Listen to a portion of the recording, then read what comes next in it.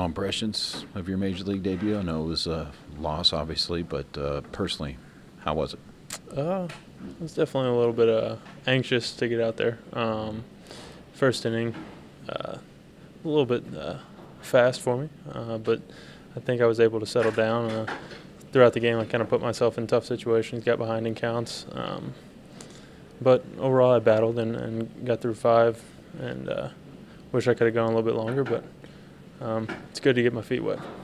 If you get another chance, is there a lot that you learned tonight and build on if you get th- that next chance this year? Oh, absolutely. I mean, uh, anytime you get get the the first one out of the way, you can go out there the second time and uh, a little bit more relaxed and, and uh, comfortable out there. Were you happy with the way that, um, not happy the way you set up the first inning, but the way you got out of it, only giving up one run there?